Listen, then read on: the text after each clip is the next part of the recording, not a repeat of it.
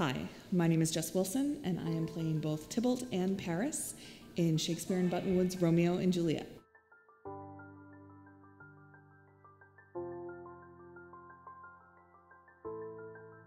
So, as I said, I play two parts Tybalt and Paris. Tybalt is literally nuts, and it's a lot of fun to play that physicality because a lot of times when I do Shakespeare, I'm a more formal character. Um, Paris is a much more formal character, very proper military parade rest. Her body language is very different. So it's been fun to play the two different roles and see the juxtaposition of the two characters. So, what I was most excited about for this show is that I get to fight a lot. Both of my characters are involved in the stage combat, and I was involved in a really serious car accident last October and actually spent three months in the hospital and another three months in a wheelchair. So at the start of this year, I wasn't sure I was going to be able to walk again.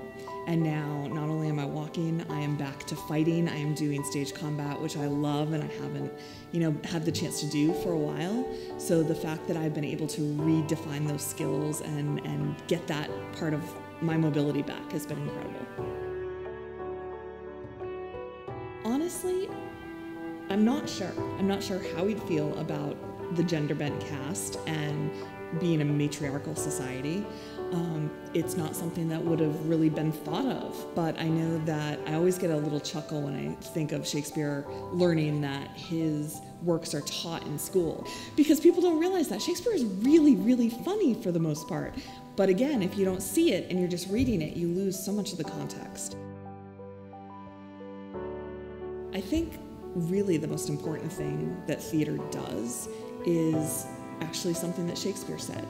He said, We hold a mirror up to nature and we reflect back what we see. People come in all shapes and sizes, people come in all different abilities. And for the most part, there's no reason not to include actors of all different abilities as long as the role doesn't call for specific physicality. It just becomes another level, another nuance to their character. And unfortunately, there's not a lot of opportunities for that. There's not a lot of openness to that. It's important for representation and it's important to have, you know, a real life experience.